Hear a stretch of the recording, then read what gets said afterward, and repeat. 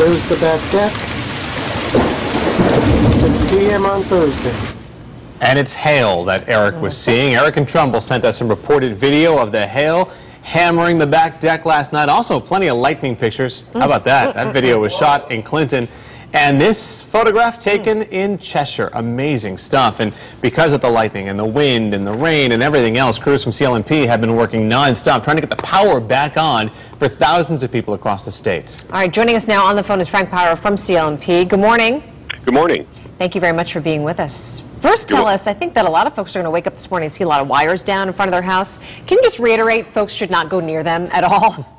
Yes, uh, uh, one of our key safety messages right now is to stay away from down power lines, and in addition to that, stay away from trees where down po- where power lines are tangled in their branches. Um, the, the tree, uh, if it's wet, would be a, a, a pretty good conductor of electricity. It still poses a danger, and uh, we ask folks to please stay away from them and call 911 to report these downed wires. Yeah, good idea. Don't don't get near them. There's nothing really you can do by walking up to them. I know your crews have been out all night long. We've seen the numbers of people without power go down throughout the, the course of the morning. Are you guys getting help from outside crews in addition to the crews that you've already got on staff? We are, and we're getting uh, an additional 112 crews from Ohio and Michigan to help with this restoration. Um, and just to take a step back to uh, to speed up our um, our assessment of the damage, we are deploying a helicopter as well today to uh, to get some aerial views of what's going on. Oh, that's good. All right, tell us really quickly, if folks have issues, who do they call? What, what are they? So it's 911? If uh, if folks have a downed wire in their in their yard, please call 911. If their uh, power is out and they haven't reported it yet, please call 1-800-286-2000.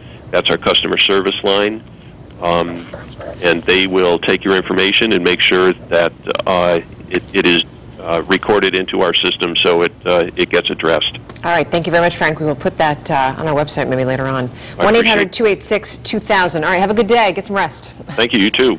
And of course, patience is a virtue. They will get to you. It takes takes some time, certainly, before uh, they can get everybody back Yeah. on. And it may be And the a, a crews from out of state are going to help. Yeah, and it's a lot of it is uh, the the folks that uh, have to cut those trees up just to allow for the utility crews to All get right, in there. So right. Yeah. a lot of teamwork expected uh, today around the state, and as you mentioned, that number has been dropping steadily. So we do appreciate the work you're doing, UI and CL&P.